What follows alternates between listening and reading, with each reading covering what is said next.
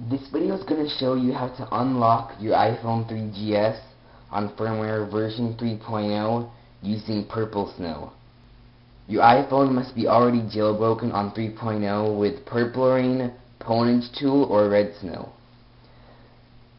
Then go into Cydia.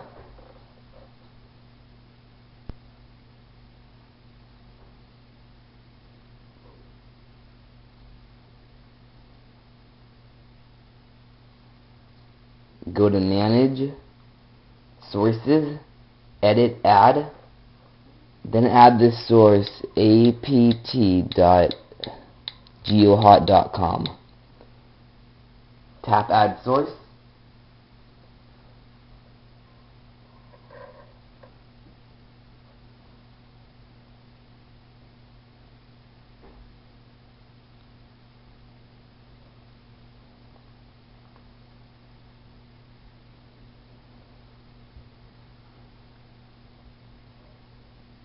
Then tap on the source that was just added and install Purple Snow.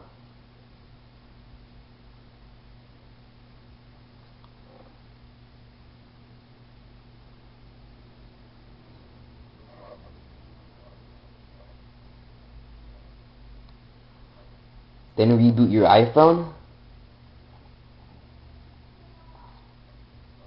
And then your iPhone 3GS will be jailbroken on 3.0. Right now this only works on iPhones that were activated with AT&T, but an update will be released shortly that will fix that.